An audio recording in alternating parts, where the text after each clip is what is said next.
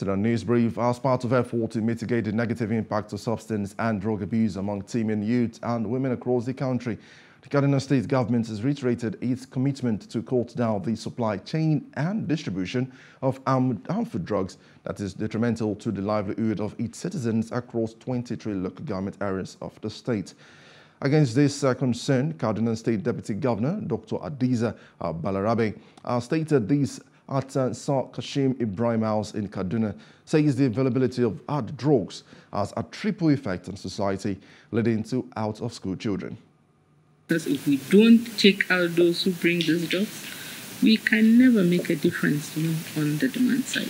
We're trying for drug abuse uh, prevention and treatment, but we need to take out the availability, the supply side, so that they don't really go back to to those areas.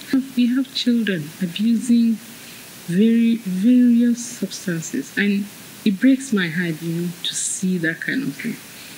So please, um, we can't do it all alone. Work with NDLEA, work with KADBUSA, work with just any relevant uh, MDA or individual that is that has a passion, you know, for fighting uh, against drug abuse and, and also, the national president of the Medical Women Association of Nigeria, Dr. Zainab Kwari, says the fact of drug and substance abuse could uh, be detrimental to a person's mental state, health, and noted that one that is one of the major key areas that must must be focused, which is affecting family, children, and women, stressing the need for collaboration to tackle the menace in the society.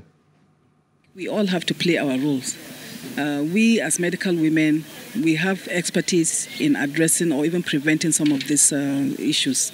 But we look up to other groups, uh, right from the family level, at the community level, the various structures that we have, the various constituent groups that we have, will need to put heads together, including the government and other non-governmental associations, to see that we address this um, it's like a monster that we have in our society. So it has to be a collective effort to deal with it and to prevent our young ones and our people from falling into the uh, problem of uh, drug and substance. I think a lot of the problems that we have uh, have an underpinning drug challenge. Kaduna, amongst the high prevalence states for, and for me, that is not something that I'm really happy about you know that now drug abuse from what we used to know before traditionally where it happens in urban areas we now see people even in rural areas abusing. Hello hope you enjoyed the news. Please do subscribe to our youtube channel and don't forget to hit the notification button so you get notified about fresh news updates